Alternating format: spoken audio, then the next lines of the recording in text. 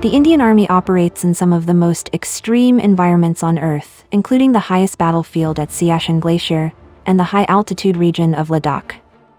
Siachen, known for its record temperatures dropping to minus 60 degrees Celsius, presents a unique set of challenges due to its thin air and severe cold. Similarly, Ladakh, with temperatures plummeting to minus 45 degrees Celsius, poses significant operational difficulties for main battle tanks. Tanks such as the T-72, T-90, Arjun, Leopard, and even the M1 Abrams, renowned for its powerful gas turbine engine, struggle in these conditions. Reduced oxygen levels at high altitudes decrease engine performance and efficiency, preventing the engines from producing maximum power, thus hindering effective maneuvering.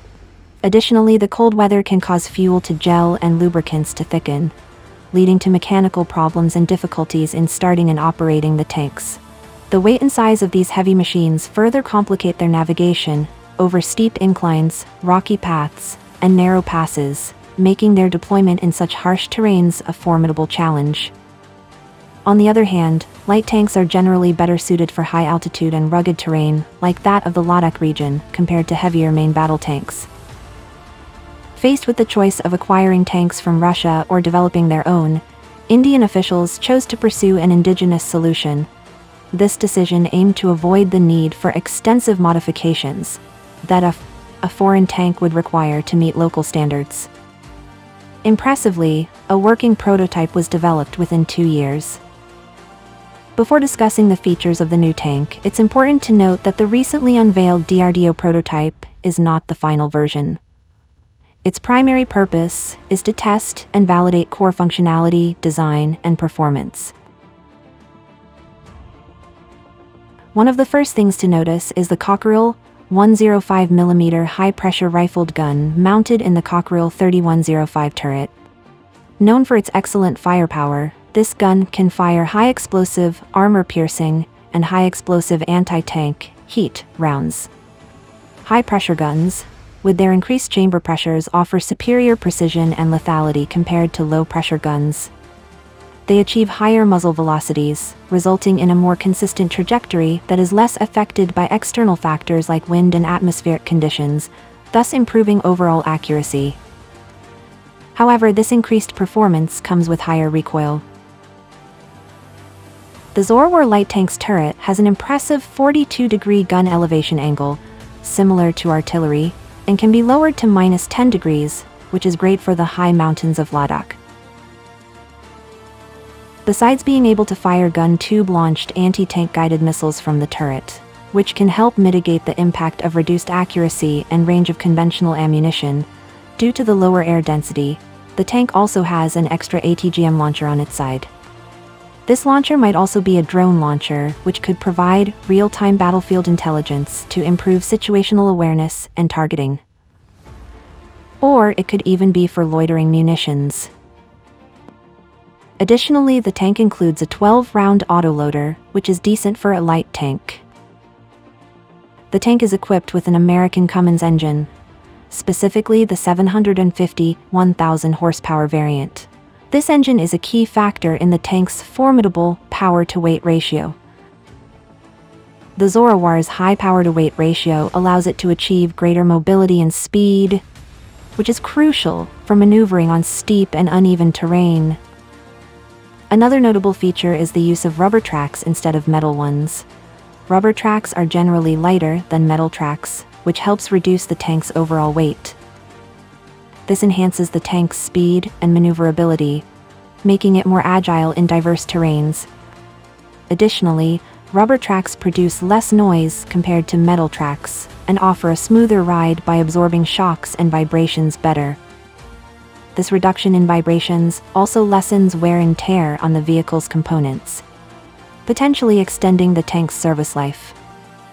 Moreover, rubber tracks cause less damage to road surfaces and infrastructure. However, there are trade-offs. Rubber tracks may wear out faster than metal tracks, especially on rough and abrasive surfaces, necessitating more frequent replacements. While suitable for light tanks, rubber tracks may not be ideal for heavier vehicles due to their load-bearing limitations. Another reason for using rubber tracks could be that the tank is in the prototype stage. Rubber tracks can be useful for initial testing phases, as they reduce noise and minimize wear on testing grounds. During development, the tank may be tested on various surfaces, including asphalt and urban environments, where rubber tracks cause less damage. Additionally, rubber tracks may be more cost-effective for initial prototype models, allowing for easier and less expensive maintenance during the testing phase. Simplified maintenance and repairs during this phase can help streamline the development process. The side armor design of the Zorawar light tank features spaced armor, which consists of two or more layers with a gap in between. This design disrupts and absorbs the energy of incoming projectiles, making it effective against high explosive anti-tank rounds, explosively formed penetrators, and small explosive munitions dropped by drones. The initial layer can trigger the explosive, while the main armor remains intact. However, I'm not sure about its effectiveness against armor-piercing fin-stabilized discarding sabot rounds. APF-SDS rounds are designed to penetrate armor using a dense penetrator, typically made of tungsten or depleted uranium, that travels at very high velocities.